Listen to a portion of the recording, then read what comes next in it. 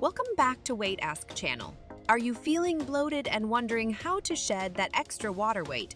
You're in the right place, the go-to destination for all things health and wellness. In today's video, we're going to reveal the seven most effective ways to lose water weight and feel lighter, healthier, and more energized. Wait, before starting this video, I introduce you with Alpilean, which will help you to burn belly fat naturally.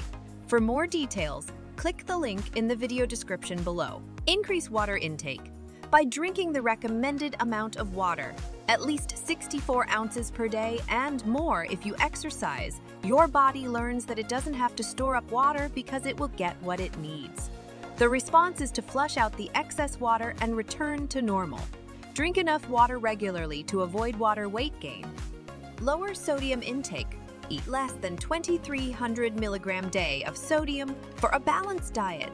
Pay attention to food labels, especially canned or processed food, and increase your intake of fresh fruits, vegetables, and proteins to replace their processed alternatives. Increase potassium intake. Potassium can help to balance your body's salt water ratio, helping to reduce water retention. Potassium can be found in fruits and vegetables like leafy greens, beans, nuts, dairy foods, and starchy vegetables. It's recommended that adults have at least two servings of fruits and three servings of vegetables per day. Decrease carbohydrate intake. The daily recommended intake of carbohydrates is 45 to 65 of your daily caloric intake. When you look at your plate, a quarter of your plate should be some type of non-processed carbohydrate like whole grains or starchy vegetables. Exercise Exercise helps reduce water retention in two ways. It increases blood flow so that water doesn't pool up in the lower extremities, and it also causes you to sweat so that you shed excess water. Get up and move for two minutes for every 30 minutes you're seated to break up sitting time and try to get the recommended 150 minutes of moderate intensity aerobic activity throughout the week for optimum health. Monitor your electrolytes. Electrolyte imbalances can lead to water retention.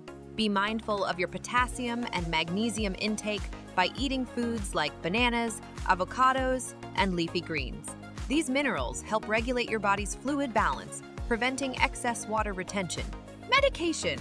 If none of the above methods work for you, you can talk with your doctor about whether you need to take a prescribed diuretic to help you flush excess water.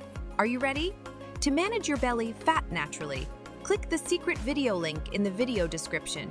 The link will delete it in few days and never up in this video. If you found these tips helpful, give us a thumbs up and share this video with others. For more expert advice on living a healthier life, don't forget to subscribe to Weightask channel.